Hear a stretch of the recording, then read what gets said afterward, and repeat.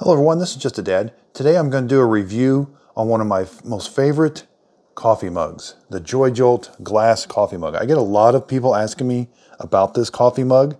I'm going to do a review and kind of where you can buy it. So they sell this, it's a 16 ounce coffee mug glass. You get six of them for $25, but usually there's a four or five dollar coupon. You click on that, you can get an extra. So around 20 bucks for for six of them is a really good deal. They normally have these in stock. I'll put a link to these in my show description notes. I am an Amazon affiliate. If you do click on the link, I get a little bit of money from the click. The products don't cost you anymore, but it is a way of supporting my channel. I buy all of my own products with my own money. So here's the box they come in. It's a pretty decent box, and they none of them were broke. This box was in another box. So they do wrap them up pretty good. So here I've got all six of them. Now the thing about these are they're not double wall insulated. That's like a single wall, really thick. And I'm gonna brew a cup of coffee here in a second. So if you do touch the outside of this with really hot coffee in there, it does get pretty hot. The handle never gets hot. So it is a good way, and I've never burnt my mouth from this being hot up here where the lip is, but where the coffee kind of sits, it can transfer through and it does get kind of hot.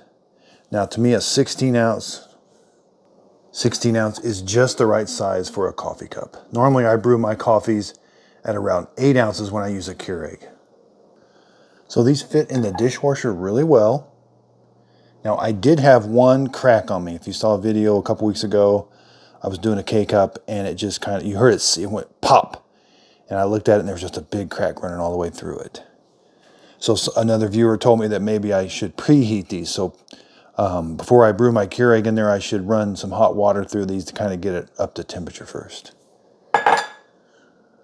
Okay, so let's brew a cup of coffee. I've got the new K Supreme Plus Smart Coffee Maker with brew ID. It's going to give me the recommended setting. All right, we're going to do an 8 ounce balanced warm. Just press the K button. Now, one of the main reasons I originally bought these was just so everybody could see the coffee brewing. But I've had a lot of people comment on these coffee mugs that want to know where I bought them and how they're holding up. So I thought I would do a video just on them. I have found myself using these as a normal coffee mug now too. But these are great for demonstrations of how a, a coffee maker brews coffee. Okay, so here we've got our fresh cup of coffee. Again, the bottom doesn't get warm. Right, right here is pretty warm. You know, that's a pretty hot cup of coffee. The handle is not warm at all. And when I drink it, it this doesn't get warm where your lips go.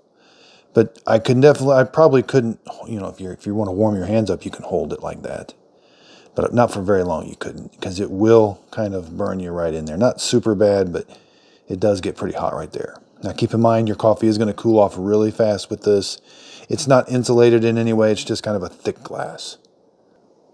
So again, from a reliability, I've used the heck out of these and I did have one crack, but the rest of them haven't cracked.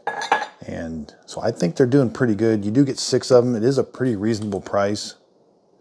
I love that they fit in the dishwasher really well.